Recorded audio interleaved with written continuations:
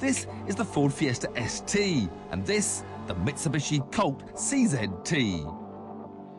With two fat slug trails over its body, big brassy wheels, and hip-hugging seats, the ST positively shouts its intentions.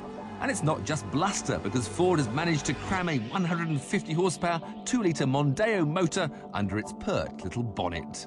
It costs £13,595, which is £600 more than our second contender, the CZT. The Colt might look more at home by the post office on pension day, but this little car's had a new lease of life. The 1.5 litre motor's been turbocharged, so produces just 3 horsepower less than the Ford. It's also slightly lighter. So, Plain Jane versus Flash Harry. 150 horsepower in a little Fiesta. Steering's not quite as instant responsive as, as I was hoping. Now come to our little left lift off, catch the slide, and power out. Very responsive.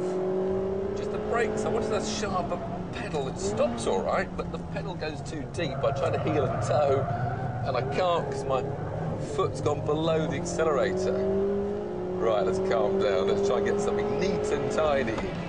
Fourth gear to its first long right-hander, what about 70, 80 miles an hour? Lift, little touch of oversteer, that's nice. It crosses the line in 55.39 seconds.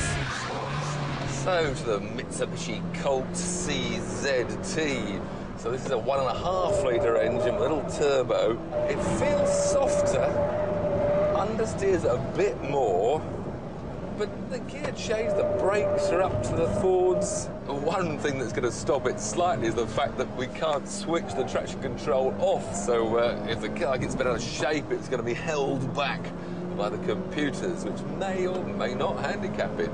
Nothing like as uh, edgy as the Ford. We don't get that oversteer, the lift-off oversteer, which of course is a nice aspect in the Ford that helps the car complete the turn. It's a good little car, but is it good enough? Let's concentrate on that fast lap.